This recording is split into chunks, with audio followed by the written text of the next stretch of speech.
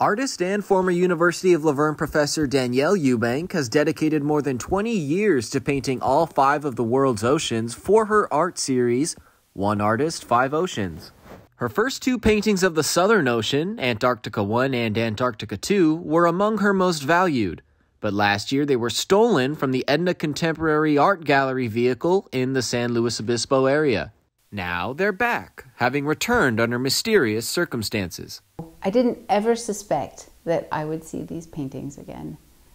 So um, I think relieved is, is kind of an understatement, but that's along the right lines. The paintings were stolen from a vehicle belonging to Edna Contemporary Gallery in May of last year. Eubank believes the perpetrators were a bit in over their heads. They're not famous. I'm not famous. It's not. They're not Vermeers. They're not Picassos. They're not Monets or anything like that. Then, in September, gallery owner Cheryl Chestnut got a call from a San Luis Obispo resident saying they found the paintings at a local flea market. Towards the beginning, she said, um, I don't want to go down for this or anything, but I think you have some paintings stolen.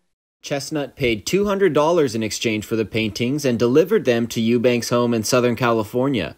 While looking at the paintings, the artist noticed a few blemishes on both canvases. There are quite a few scratches and food items, I think, maybe some coffee or uh, yogurt or something. Since both of Eubank's paintings have been returned, there will be a homecoming for Antarctica 1 and 2 at Edna Contemporary Gallery in San Luis Obispo on Saturday, November 5th. Reporting from Shadow Hills, I'm Nate Rodriguez, Foothill Community News.